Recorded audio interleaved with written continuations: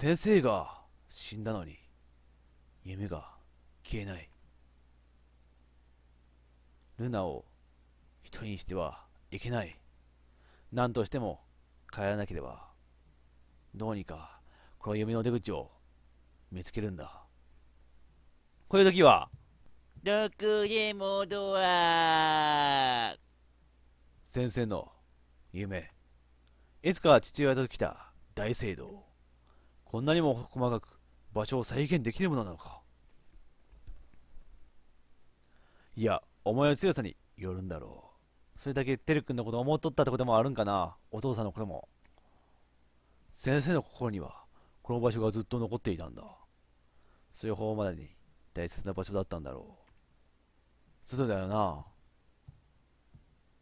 あんな狂っとっても愛情はあったんだから。先生が言ってたな。これは出口じゃない。悪魔の扉霊を封印するためのものだと。おそらく力じゃ開かない。先生のような強大な霊力が必要なんだ。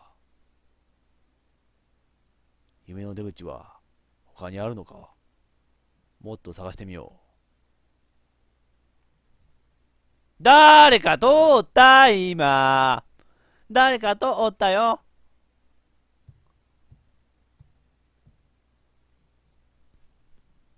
まだ夢が消えない。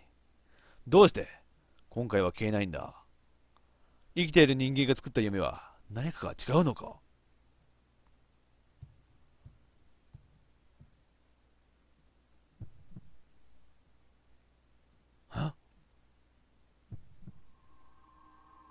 先生の死体がない。え？どうして？え死んでないの？もしかして死んでないの？あんな死んだような感じの倒れ方しておいて囚人みなの？どこにいたんだ？あ、怖い！俺の後ろにいるとか怖いこと言うな、お前。いや、後ろにはいないな。普通な答えするんじゃないわ、お前も。だよな。んなわけないよな。どうした？布がはためく音がする。どこから？え？だー！さっき通ったんこいつだった？ん自分を化け物化してるよ。なんか、肺がめっちゃ見えてるよ。スリムになりましたね。ダイエットしすぎですかバカ。そんなわけあるか敵の攻撃を避けてください。だそうです。エス。アイスアイスアイスアイスオッケー。くっ。先生のあの姿は悪霊に変わったのか？バカな。早すぎる。高すぎる霊力が悪霊化を早めたのか？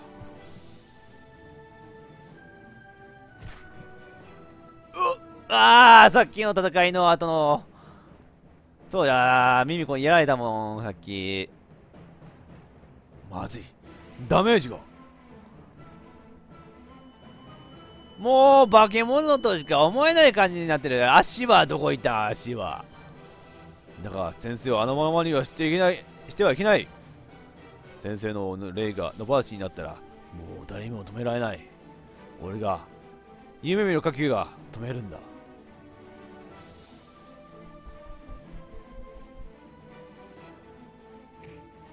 この扉霊を封印する扉この扉さえ開けられれば先生のように強大な霊力があれば開けられる。方法はあるぞ。どんな方法？でもそれをしたらあ？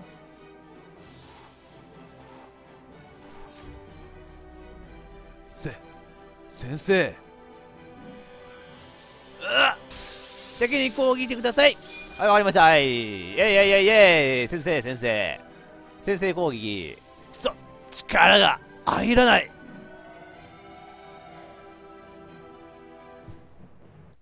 俺と先生には圧倒的な霊力の差があったその差を埋めるには謝るしかないなんだようわーどうした？開いたなんで開いたの？開いた。ぞどうした？金積んだ？どっかのメーカーに金積んだ？あ鍵作ってくれたんかな？この扉の鍵穴にあった鍵を作ってくれたんかな？開かなかったってそういうことかよ。人が死ぬ時に高まる霊力。人生の最後に起こす奇跡霊夢を作り出すほどの霊力ならこの扉も開けられる。マジか起死回生でないか。全部あなたから教わったことだ。先生。そういうことか。うわー。霊を封印してください。イェーイ封印封印封印。封印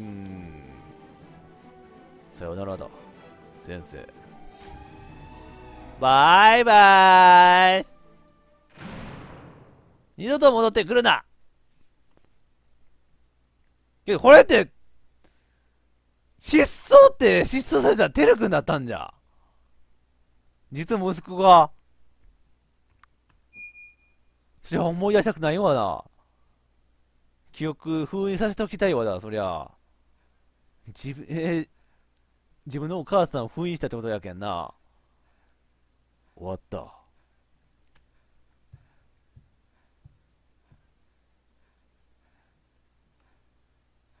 もうダメだ。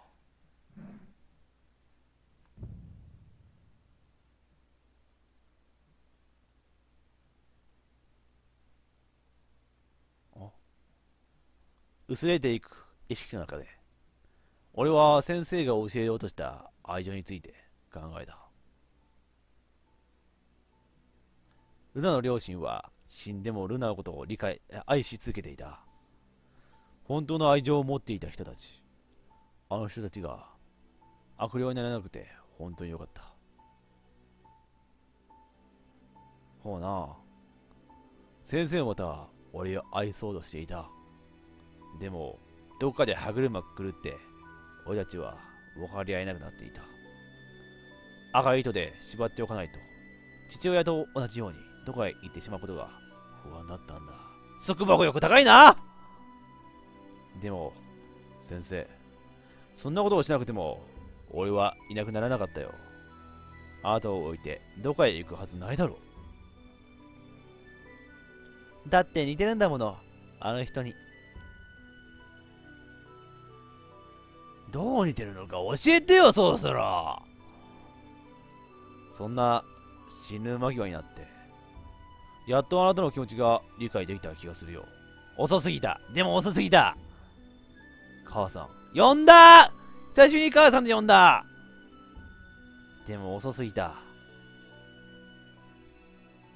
お兄ちゃんルナ？ルナ？あの子はどうなってしまうんだろう結局一人で生きていくことになるのか一人しないって約束したのに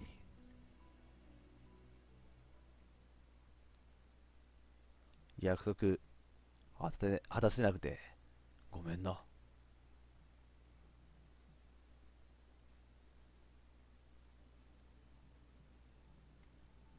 神様母はあなたに祈ったんじゃないのかよ。わざわざ日本から依頼に行ったんだぞ。母は、こんなに鮮明にこの場所を覚えていたんだぞ。なのに、あんたは母から愛を奪った。少しは、願いを聞き入れてくれてもいいだろう。奇跡を起こしてくれよ。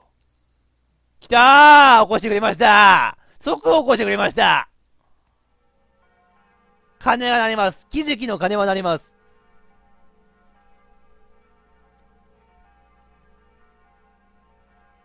眩しい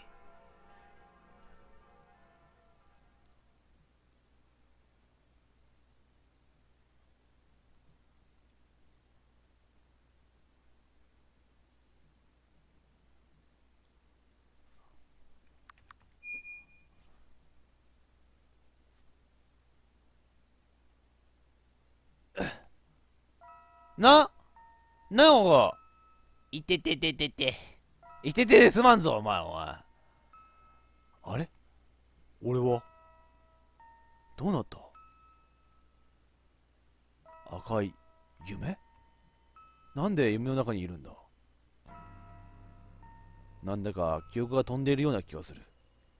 そうだ。母さんは？どこに行ったんだ？なんで俺は血まみれなんだ？夢の出口が見つからないまずいぞ。母さんはどこに行ったんだ？一緒に夢には入ってんじゃないのか？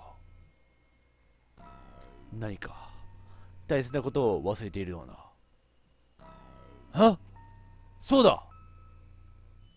ルナがいるじゃないか。赤い糸をたどっていけば夢の外に出られるぞ。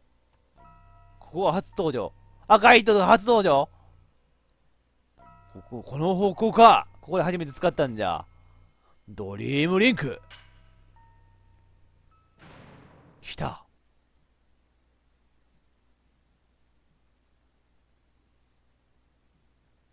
持ってきた。その顔のままなんだね。でもその顔のままなんだね。病院行った方がいいよ。いややった。出られたぞ。よよかった。ここは家か？なんでこんなところに出たんだ？お兄ちゃん、帰ったの？え？それそうなるわそれはお兄ちゃんが帰ってきたと思ったらそんなゾンビみたいな感じになったるもんね。もう死んでてもおかしくなかったもんねこの探検体験。よう生きて帰ったなテル。お、お兄ちゃん？なんで血まみれなの？たただいまルナ。それがよくわからないんだ。いつの間にか血まみれになってて。だ、大丈夫なの？ああ。出血の割にはどこにも傷がないみたいで。なんともないよ。そうなの？いやいやいやいやいや一回ドクターに見てもらおう。これ一回ドクターに見てもらおうよ。あれ？お母さんは？母さん？家に帰ってないのか？えお兄ちゃんがお母さんのお仕事をお伝えに行くって言ってたでしょ？一緒じゃないの？そうだっけ。なんだか記憶が曖昧で。と、とにかくお風呂に入ってきたら？ああそうするよ。何が？どうなってるんだ？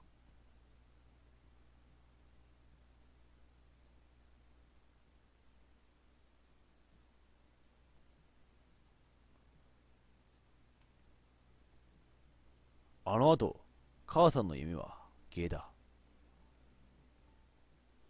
俺は赤い夢を作り出しこの場にとどまることとなった。死ぬ瞬間精神が二つに分かれたのを感じた。あこれが分かれた瞬間だったんじゃ。なぜそんなことになったのか正確には分からない。ただ奇跡が起きたとしか言いようがなかった。もう一人の夢見てるは記憶の一部を失いルナを守るために現世へ戻った。記憶を忘れルナと共に生きていくこと、えー生きていってくれることを願う。そして俺は母を閉じ込めた悪夢の扉を俺の夢の中に作り出した。扉の向こうへ封印した母は今もなお俺たちの名を名を呼び続けていた。いつか母の霊力が最高潮まで高まり俺の手に負えなくなる日が来るとしても。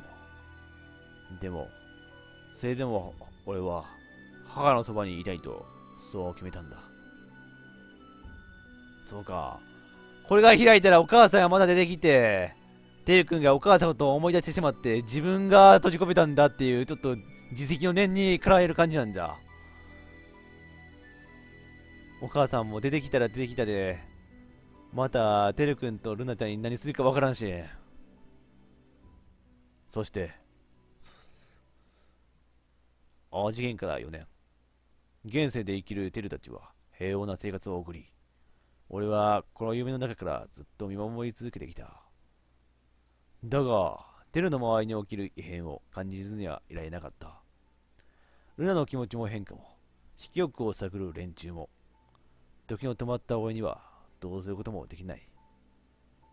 テル、現世で生きるお前が解決するしかないんだ。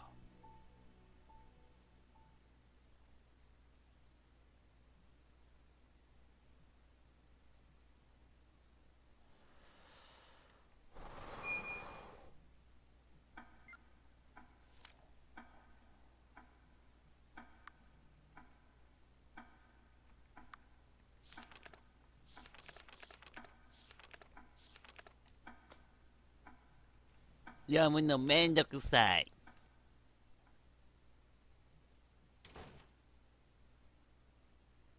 あ、もういいじゃん。結局、ルナのことが気になって仕事にならなかった。キラ先輩、すごく怒ってたな。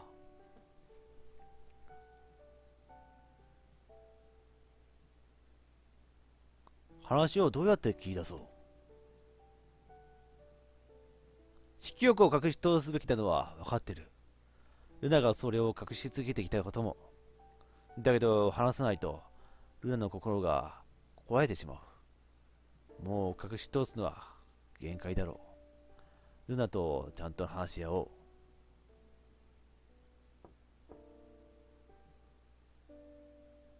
ああ、ってことはルナちゃんさ、4年前の母親が死んでからもう普通の女の子としてはもう精神が不安定な時からこんな宿命背負ってきた感じになるんじゃ。てるくん、兄にお兄ちゃんのことをさ、思って。そうか。ただいま、ルナ。ルナ？寝てるのか？あ、おらん。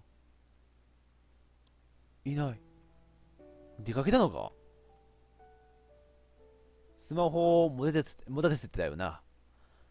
電話かけてみよう。あれ？机の上に置きっぱなしだ。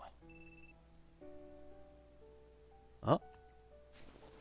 机の上に何かあるぞ。写真あ、見ちゃあかんもん見てしまった気分。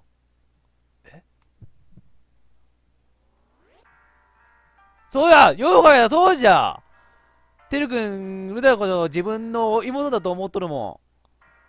そこをいきなりさ、自分の父親でも母親でもない人間とこうずっとったら、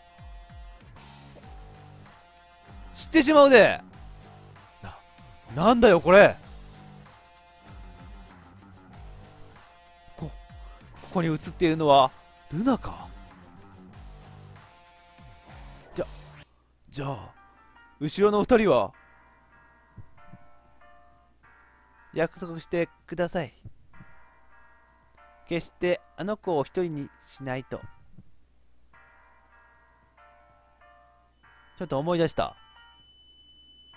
この二人は。ルナの両親だ。ルナはあなたの妹ではないのですか？わあ、ここ伏線だったんじゃ、やっぱ。出てきたが、とうとうここで。そうじゃ、ブチ切れたんじゃ。何も知らぬんだ、あの小僧って感じで言おったもんな、そういや。キツネビが。ルナはお前の妹ではないぞ明かされてしまった。ルナ、え、テル君本人にも明かされてしまった。ルナは俺の妹じゃない。そんな。そんなバカな。ルナ。ルナ。めっちゃ手入れされてる。どうでもいいけど。ルナ。どうだ。トイレはおらんだろ。トイレはおらんだろ、お前。トイレおったら鍵かけとるだろ、お前。どこにもいない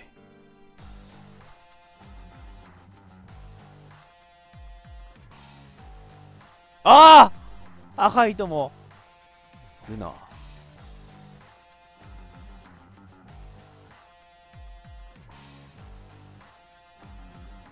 頭がおかしくなりそうだった俺の中にあったルナの兄としての記憶。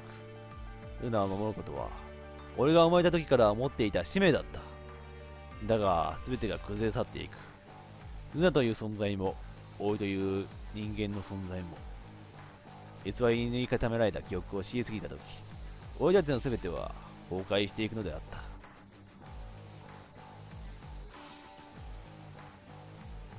そういうことだよな。もう完全に壊れきってしまったもん。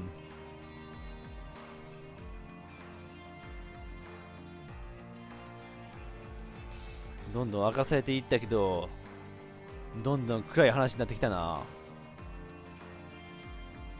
制作アイムシアンさん。いつもありがとうございます。やばいな。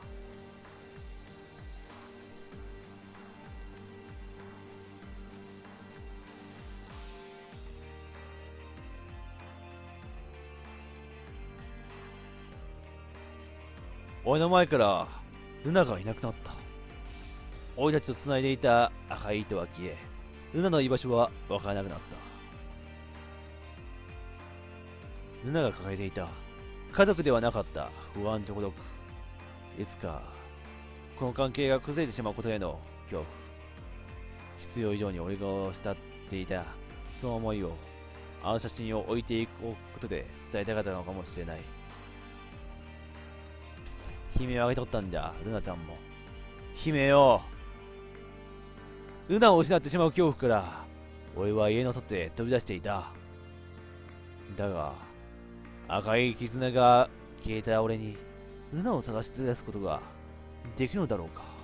一人ぼっちにさせてはいけない。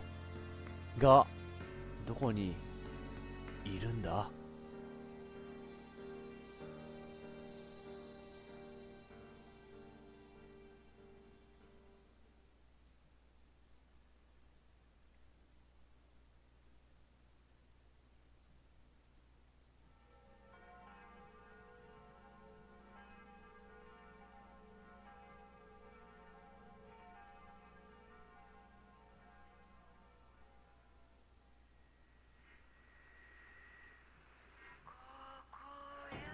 終わった終わった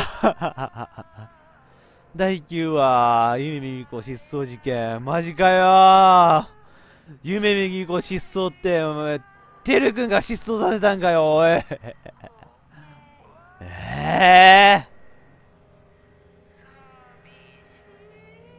ー、寂しいわ、本当に。